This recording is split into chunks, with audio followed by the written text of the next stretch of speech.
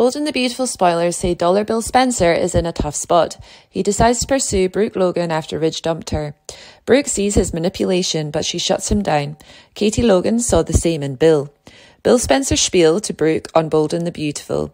The business tycoon is caught in his web of deceit. He is also aware of the consequences. Carter Walton overhears the conversation between Bill and Brooke. Soon the COO confronts Bill. He doesn't take the confrontation lightly. Bill is furious that Carter is getting involved in this matter. He may threaten Carter. Things are getting interesting on Bold and the Beautiful. Bill approached Katie Logan to get back together. Katie and Bill are no longer a couple. Spoilers suggest that something is wrong with Bill's brain.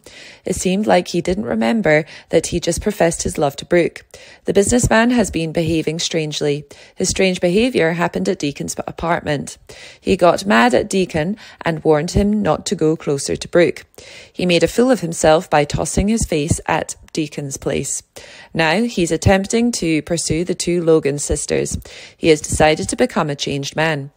Brooke refused to pursue a romance with him. She is still waiting for Ridge. Spoilers say Li Finnegan is back in Los Angeles. Bill is single and may pursue a romance with her. He may run into her. Fans witness Bill's strange behaviour. Carter Walton has overheard about Bill. He rushes to the Logan sisters, Katie and Brooke, to tell them about what he heard. It seems like Bill Spencer is suffering from some medical condition. What happens to Bill? Carter thinks he needs to inform the sisters about Bill. What's going on with Bill? Is he suffering from some illness?